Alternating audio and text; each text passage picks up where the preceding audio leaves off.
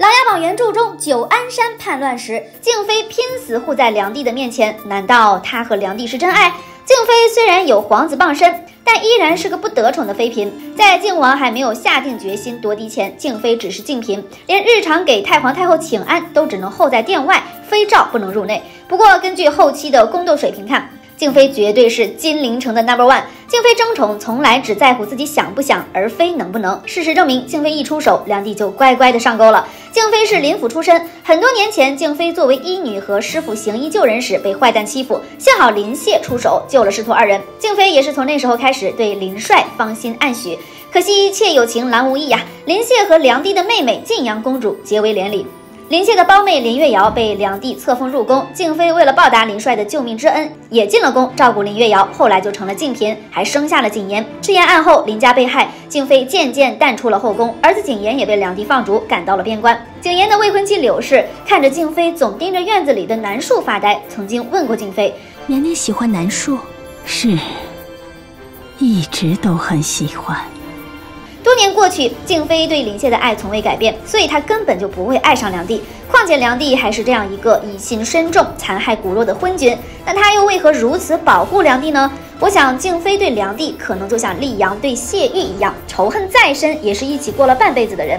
静妃把梁帝视作君王，是身为臣子应该保护的人。而且危难当头时，梁帝也并没有选择躲在静妃的身后，而是拿起长剑走向了前方。梁帝的罪行再多，他也没有对静妃做过实质性的伤害，至少没有因为赤焰案迁怒他。当然了，对于静妃保护梁帝的举动，也有不同的偏向阴谋论的看法。静妃这么做完全是为了在梁帝面前博好感呀，是在演戏。誉王失宠，现在又谋反，他绝无继位的可能。儿子景琰正是立功的好时机，现在也正是他们母子二人表现的时候。而且，如果梁帝就这么没了，他就再也没办法承认对林家犯下的错，赤焰军也不能彻彻底底洗刷冤情了。梁帝必须活着，这样的平反才不会被后人诟病。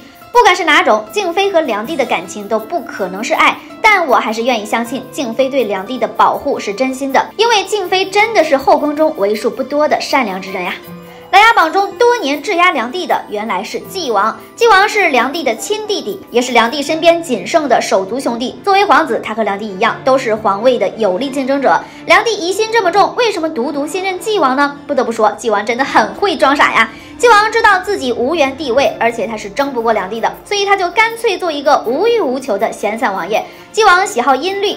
还有玉金这个忘年交，他的日常就是畅游在妙音坊的海洋里。梁帝和晋王都是皇家子弟，龙生九子各有不同，但他们都有一个特点，那就是伪装自己。不同的是，梁帝以看似公平公正的态度做一个明君，但实际上他心狠手辣，祸害忠臣。纪王整日玩乐，对朝堂之事漠不关心，但纪王却是最通透的那一个。大家原本是一家人，谁跟谁又不是骨肉呢？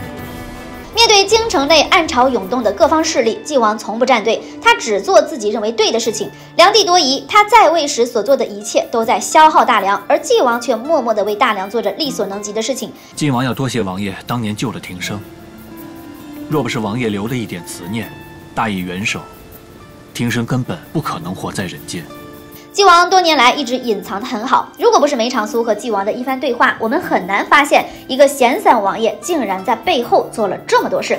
梁帝查抄齐王府后，所有女眷都被罚没到了夜游亭，一时间所有人都恨不得和齐王划清界限，明哲保身。但纪王却想尽一切办法保住了从夜游亭出生的庭生。要知道，一旦被发现，纪王多年的伪装就功亏一篑了。从目睹何文新杀人，到亲眼见证夏冬转移犯人。再到溧阳首告后力挺赤焰军，纪王在每一次重要的关口都发挥着不容忽视的作用。其实他知道自己是在被利用，但还是顺水推舟地完成了平反赤焰案的每一步。纪王的身份很敏感，他小心翼翼装傻的同时，也在替自己的哥哥梁帝弥补过错。纪王能在梁帝身边伪装这么多年，可见他的智慧远在梁帝之上。他知道夺权会是一个国家最大的内耗，所以他从来没想过争皇位。